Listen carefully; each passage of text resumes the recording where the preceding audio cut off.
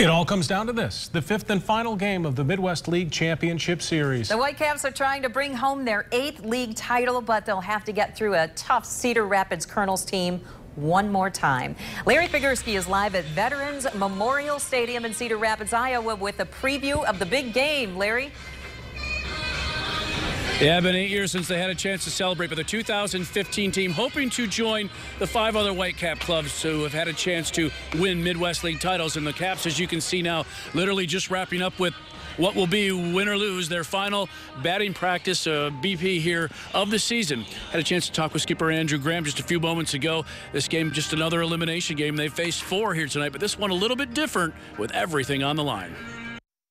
I mean, it's, it is what it is. It's the best team. Whoever plays the best today wins the whole championship of the Midwest League. I mean, uh, we've been here in Lansing before where it was a must-win game twice, and we pulled it off. So we know what it feels like. Um, we're just going to come out today and uh, play the best baseball we can. That's really been the philosophy, and the players were saying the last couple days there really was no fear in the clubhouse when you've been in these, you know, win or go home situations. Yeah, and that's uh, that's what I've been trying to preach these whole playoffs. Is we, if we play scared and we play with fear, you don't play your best baseball. I've been telling these guys just go out there. It's a game they've been playing since they were five, six years old go out there, have fun, and uh, execute. And if we execute, we'll have success. What's the confidence level of the guys now, especially you know being where they had to win yesterday? Yeah, I mean they're feeling good. They're feeling good. As I said, uh, you never know what's going to happen. Baseball's a crazy game, but uh, we got Russ Seaton going for us. He's been doing good, for, great for us all year. And uh, yeah, we'll, we'll, be all right. What's the message you have for these guys going into this game? Is it any different than what you've had, you know, the last seven games or whatever? You know, it's the last game of the season. The only thing I'm going to say differently is uh, if you guys are feeling tired at all, I don't want to hear that. Give me 100% of what you've got. You know, it's the last game you guys will play. You'll have a whole off season to recuperate, so it's time to go out there and give it all in the field. And obviously, you've been in situations like this.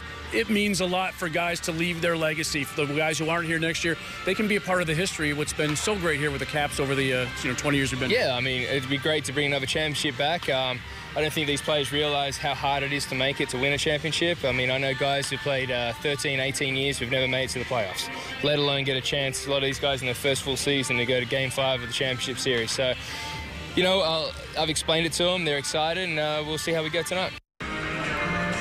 And it is that chance to leave a legacy and be a part of Whitecaps history that has these guys walking that fine line between excitement and pressure. And there's a little bit of both here tonight in Cedar Rapids, Iowa. Again, game time coming up 7:35 Eastern Time.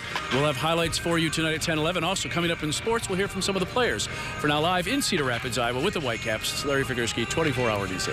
Okay, Larry, right, thank Larry. you. Yeah, looking forward to it. Go Whitecaps. Go Caps. Thanks.